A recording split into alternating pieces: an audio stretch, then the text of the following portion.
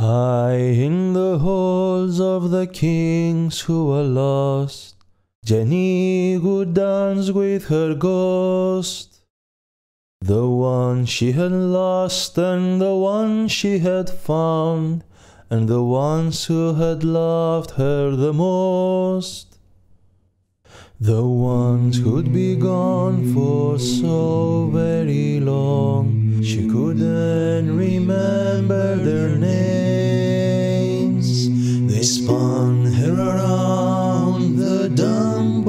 stones spun away all her sorrow and pain, and she never.